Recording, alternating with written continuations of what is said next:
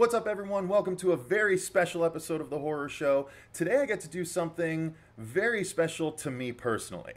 I actually am about to interview someone that I've been dying to talk to for almost 20 years at this point, ever since I was a 13, 14 year old boy. Now, as most of you know, I'm a big creature movie guy. But what you may not know, if you haven't listened to all of our podcasts or anything like that, is that it all started from the first horror movie I ever saw when I walked into my parents' bedroom one day and they were watching a movie where there was a man in a little dinghy hanging onto a big electrical wire in the middle of the ocean and he's hitting it with an oar. Some of you already know what I'm talking about. And then all of a sudden, rising out of the water is this massive great white shark that then chomps on the electrical wire and fries itself and dies and sinks to the bottom of the ocean. This, of course, is the climax for Jaws 2.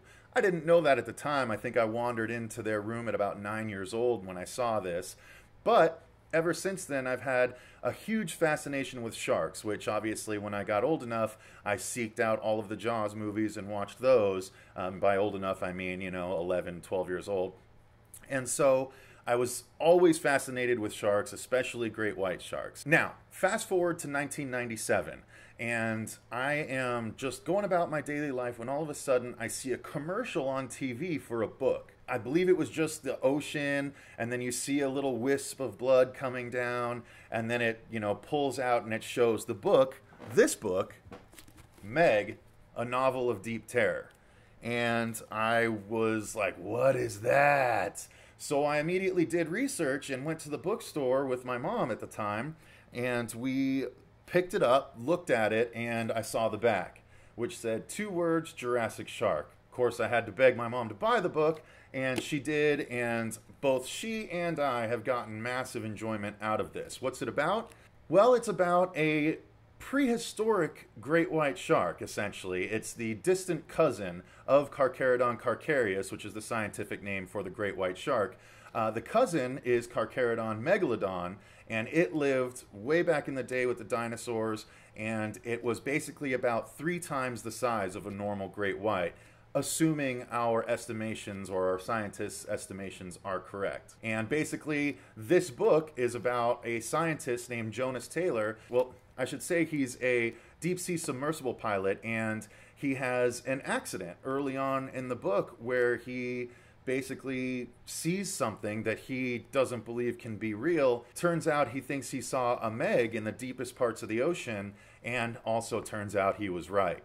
Eventually, through the course of the book, a Meg rises to the surface and starts to wreak havoc on all beaches and open ocean anything it can get its uh, massive jaws on, it uh, goes for. So, if you're any kind of creature movie fan or shark fan, then that is obviously going to appeal to you. Now, over the course of the next, I mean, here we are almost 20 years later, he did Meg. He did the sequel called The Trench. He did the sequel to that called Meg Primal Waters.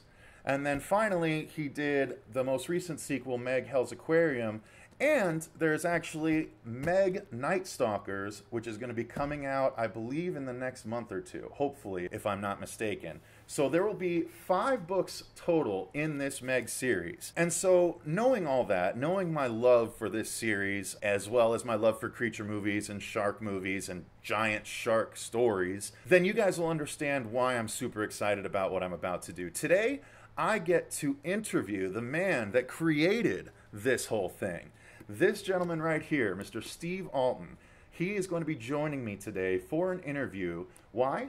Well, Warner Brothers has officially greenlit Meg, a novel of deep terror, to be made into a big budget blockbuster movie. The book has been bandied about by studios for almost 20 years now, but for whatever reason, it's finally come back home to Warner Brothers and they finally see the value, which I don't understand how they hadn't up until this point. People are going to flock to this film. Without further ado, I'm going to go ahead and put in a call. We're going to do a Skype interview with Mr. Steve Alten, creator of the Meg series, the Domain trilogy, Dog Training, The American Male, Shark Man. He's also done the Shell Game. I mean, he's he's all over the place. He's done tons of books at this point. He's uber talented. So I can't wait for you guys to uh, hear this interview. I can't wait to talk to the guy. So let's get to it. Here we go. Okay, everyone, so as I said, I've got my favorite author here, and he has now joined us via Skype. Mr. Steve Alten. thank you very much for joining us today on The Horror Show. My pleasure. Now, of course, I just mentioned to the audience that you um, have had some very awesome news recently with regards to your book, Meg, A Novel of Deep Terror. And I just wanted to know how does it feel to have it finally be in a place where it's being pushed forward by Warner Brothers? Well, it feels great. I mean, the, the, the group of producers who are doing the movie are, are terrific, first class all the way. The uh, studio is fantastic. Uh, course, we've been at this altar before a couple times, but uh, never this far along because the movie's been uh, financed and we've got a director attached, we've got a script. Uh, it looks like everything's a go, so knockwood, third time's the charm. So you said that this is the farthest along in the process it's gotten, um, and I've seen news stories talking about you know directors being in talks, namely Eli Roth. I know you might not be able to talk much about that, but you're saying that in the past it hasn't gotten to that stage before.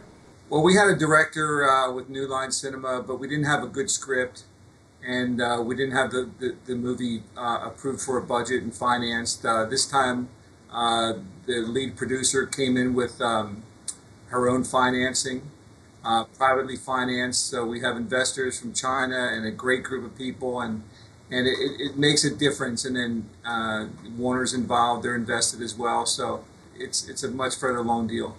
That's super exciting for a fan like me. I'll tell you that much. As I was telling the audience. I've been following the books ever since the beginning, since the first one came out. I've even got my uh, my little sticker signed by you and sent out. So I've been following this stuff for a very long time, and every time it got stalled out, whether it be because of Mighty Joe Young or Deep Blue Sea, those other creature movies that just didn't perform well, it was really disappointing because I knew the story was so good that people would flock to see it if you know studios would just give it a chance. So, is it something that you think Jurassic World sort of helped along with its good performance? Jurassic World's performance didn't hurt, but the decision was made long before Jurassic World came out. I think that just made a lot of people who had made the decision a lot more enthusiastic about the decision. Gotcha. And have you been um, involved in, in the scripting a little bit more recently, or is it kind of out of your hands at this point? I was involved in the, the script that got the financing, so I'm, I'm happy to say that I haven't seen the, the final draft of the script yet. Well, my follow up to that is this because you recently just uh, came out with uh, this, which is the anniversary edition of Meg, a novel of deep terror. It's now 20 years later, essentially, and you pretty much completely rewrote it as well as adding Meg origins to the beginning of it. Am I correct? Yeah, I wanted to do something special for the Meg heads out there. It was 20 years since I wrote the book, and and I had written uh, Meg Origins as an ebook only, and I wanted to give people who who, who prefer hardbacks uh, and and uh, hardbound books um, a shot at reading Meg Origins. So what I did was I made Meg Origins the opening of the book, and then when I tried to add the original Meg to it, I realized that the writing didn't match up. That I had written Meg Origins recently. I'd written the original Meg 20 years ago, and, and my writing style has improved a lot, and, and uh, and so I essentially rewrote Meg uh, so that it matched Meg Origins, so that it fits seamlessly together.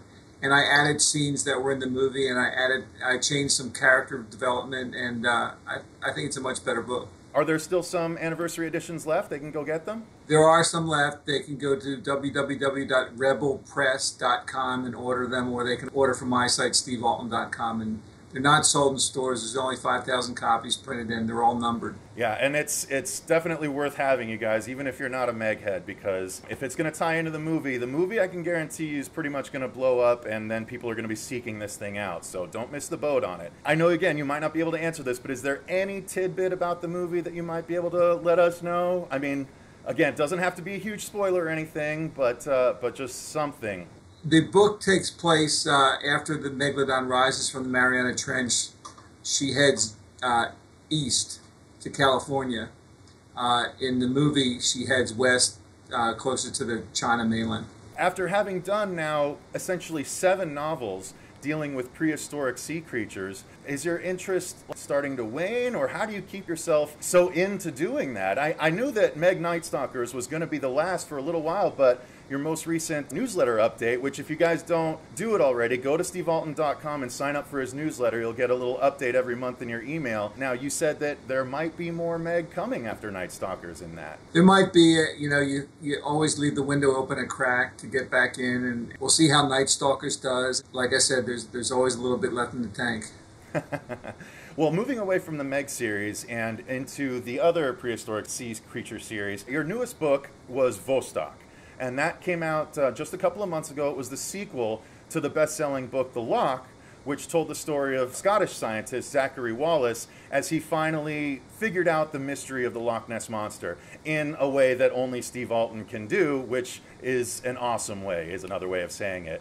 Now, in Vostok, you've taken Zachary out of Scotland and put him into one of the most inhospitable places on the planet to investigate some very strange thing, not the least of which is different prehistoric sea creatures. But again, I don't want to get into too much spoiler territory unless you're okay with it. But there's some interesting things that you did in Vostok. Yeah, I don't mind talking about Vostok. There's no NDA about that. Uh, the thing with Vostok and, and the difference between Vostok and Loch is, is, is where the, the book takes place. Um, although the opening does take place at Loch Ness. You know, I could have gone the standard route of a sequel and put another monster in Loch Ness, but it didn't make any sense Besides, we have Vostok, which is this incredible subglacial lake in East Antarctica, the coldest, most desolate place on the planet. Two and a half miles beneath the ice is a liquid lake, over 6,000 square miles. It's it's uh, 1,000 feet deep or more. Uh, it's got hydrothermal vents in it uh, that keeps the water warm, and it's 15 million years old. And, and the most astounding fact, perhaps above all these things, is that there's some kind of magnetic anomaly down there that's giving off this magnetic impulse, and we don't know what it is. And so all those things are true. So I've taken uh, Zachary and moved him to a different lake to find out what's going on. That's it's so cool, and and it always impresses the heck out of me how much research that goes into your books. It's really amazing. It, it you could almost mistake it for you know, a, a, nonfiction narrative, you know, just a, about a dude that, especially in Zachary's case, because those books are written in first person, um, or at least his portions of them. And so it's it's almost like a travel log. And to know that that stuff is actually real, it blows me away. So kudos to you for all the research you're willing to do because it's amazing. It makes your product just all that much better. Thank you. It's important to get the details right. For instance, how to get down to a subglacial lake that's two and a half miles beneath the ice. I was fortunate enough to come in contact with Bill Stone with Stone Space Agency, and, and Bill Stone's the group that are putting together the technology to access Europa, which is the frozen oceans of Jupiter's moon. He sort of tutored me on how to get down to Vostok and what it would take and, and uh, made sure the specifications were right on the ship. Beyond that, the magnetic anomaly has an extraterrestrial element to that and I was in contact with Dr. Stephen M. Greer, who's the foremost authority on extraterrestrial intelligence. And I spent 30 hours interviewing him, and he gave me unbelievable dark secrets of going on with extraterrestrial sightings and UFOs, and and uh, I just I put it all in the book. That's it's so awesome too because I, I, actually uh, again you guys sign on to his newsletter because in one of the newsletters he attached a video where there was a group of people I can't remember if you were actually there but there were lights on the horizon. Yeah, uh, Dr. Greer holds these get-togethers called CE5s, which are close encounter fives, which is when a group of people meditate and use remote viewing to actually vector in an extraterrestrial ship to them. And it, sounds kind of crazy, but uh, extraterrestrial intelligence communicates telepathically, communicates through uh, consciousness. And so, if the consciousness is right in the group, they can make an appearance. And I was at a Vero Beach uh, retreat in January of this past year. And on the third night out, uh, we had two lights pop out over the ocean of ships. And uh, we've got all the night vision cameras working, and pretty amazing stuff it was interesting seeing that put into the book, and then it ties into time travel as well. Um, so there was a little bit of that aspect in the book, and of which, again, if you're okay with me spoiling a little a little bit, sure. I was distraught with what you did to David and Mac, and it was like so quick, and I was like, no, what happened? David's what? no, David's got to go get revenge for for his girl. Like, how's this? And so you took out a couple of characters in the book, but luckily they didn't have to stay that way. I was really hoping. I'm like, oh, please let him do something cool to bring him back because I'm heartbroken right now. So um, again, kudos to you for the storytelling on that because it was just a page turner trying to make sure that everyone was okay by the end. So, do you see more Zachary Wallace coming in the future? Uh, possibly. I don't know. I've, I've got a lot of other books that I want to write too, and we'll see. What you were talking about though is is merging the Meg series with the Loch series. Yes. And uh, so Zachary is coming back in Night Stalkers, Meg Five Night Stalkers, because it's not a foregone conclusion any of those characters survive. Do you feel like you'll be bringing any of those um, alien or time travel aspects into that series as well, or no, no, no, that'll that'll stay pure. Zach will briefly reference some of the things that happened in Vostok, but as far as Jonas Taylor knows, that it, it didn't happen.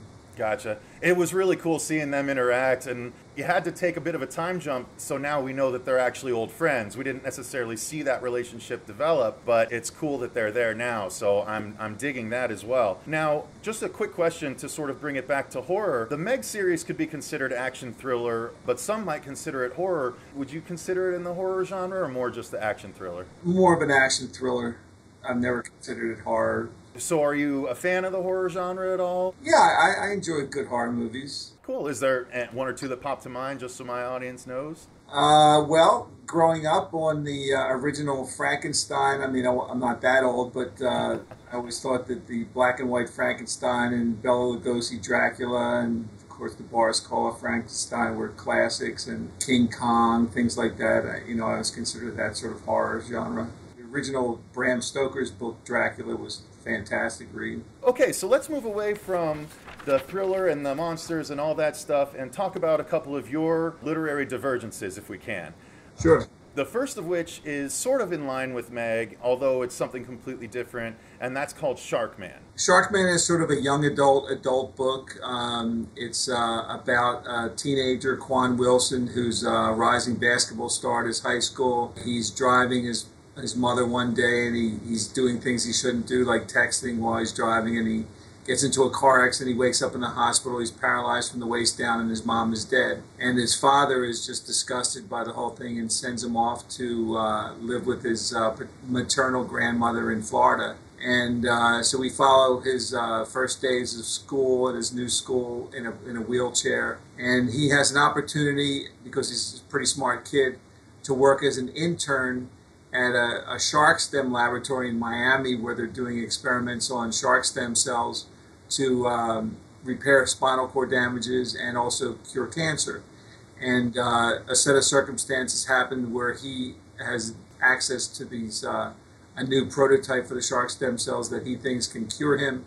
And if it doesn't cure him, it'll kill him. And either way, he's better off with the life that he has now. So he's he's suicidal, and it brings him to this choice, and he makes the choice, and things start happening.